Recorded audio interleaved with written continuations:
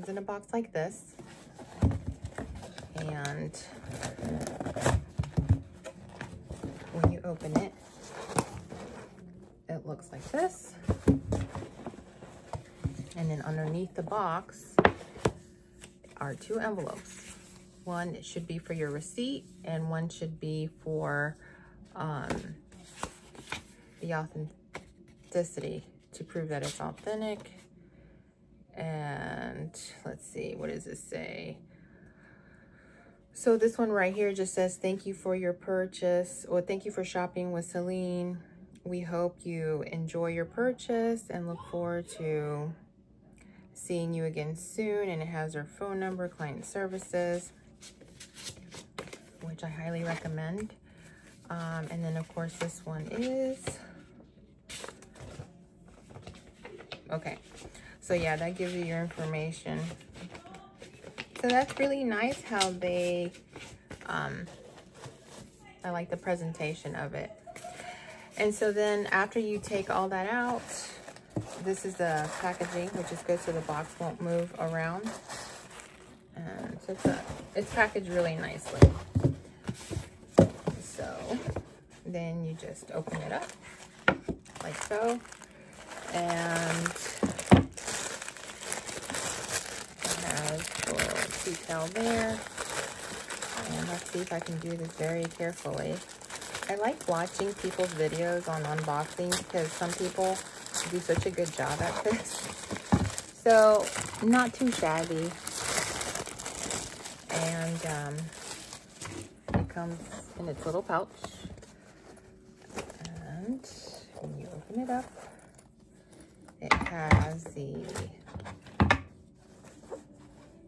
tags and then so I like this because um you know that was just padding.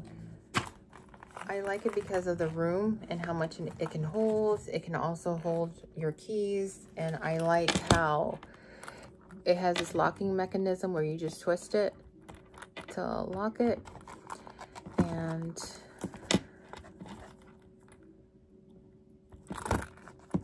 usually some of these come right off. And I guess if you're very rough they can come off. But I like how your wallet can fit in here or this can just be like a small clutch if you're traveling in the city.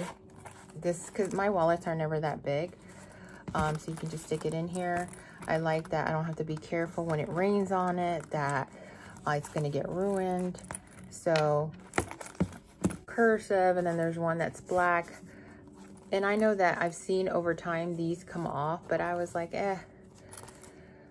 When I get these things I make sure they're going to be used as workhorses. So um, there's a lot of these on the uh, designer websites that sell secondhand. Anyway I figure this it's just so easy. You can fit it anywhere and if your jacket has pockets you can just fit it in there and I don't know, easy to travel with. And that's what I like because it was big, bigger than a wallet, but it can fit a lot of things. For instance, right here, these are just examples. This is not what I'm going to put in there, but um, you've got this nice size and it's not going to zip over it, but if I lay that down, lay this one down. So that's a duplicate of the same that I just showed you. And a lipstick. That's, and that's just laying them down, which they're going to take up more space. Now, these Aquaphors I can't stand up because they're too big. The lipstick is going to be too big to stand up, but I can lay it down. And let's see, what else can you fit in here? Just as an example. Highlighters. I like these. These are from Target. Altitude. There's, I have a whole set of them. But I could fit one, two, three. Let's see. Do I have another small one? I separated these. Um, some are in my bag and some are here. But I think I even have room to fit one more. I wanted to see if I had one, another one of these there. And just out of curiosity, okay, so I fit, let's say three markers.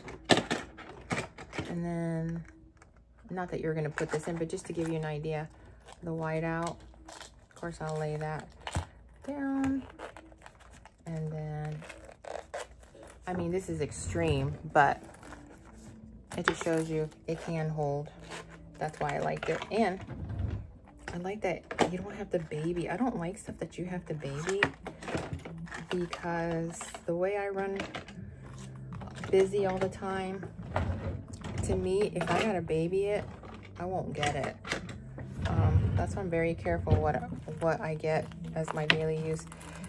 And I sold a couple of my bags um, on eBay and I was able to save up and get this as well as using some of my Visa uh, gift card uh, rewards. So anyway, I hope that's helpful for you as to um, something that you want to purchase for yourself. Um, like I said, it's not necessary. Um, if you find something with the same dimensions, and you can find the dimensions on the website, um, if you find something with similar dimensions um, that is cheaper, please post it below because I always like uh, the cheaper end of things. But I also like things that are going to last. And like right now, I can tell you this just came in the mail, but I can already see, you know, the folds in it. And this little piece right here seems to be that you can tell it wasn't manufactured correctly because you can see the flaw right there. And I might return it and see if they have a replacement that doesn't have this bulge right there. Because if it already starts off with something problematic like that, it makes me wonder, will that damage or um, interfere with the integrity of the item and will it damage quicker? So things to consider. Look at your product when it comes in make sure that it's something that you can live with and if it's not make sure you get it replaced because here I can see when I'm looking at this angle that there's two bumps in it. And you can tell that there's you know already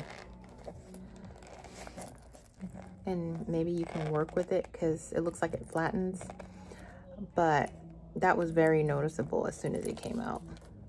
So anyways I hope you enjoy the video and um, let me know if you have one. Bye.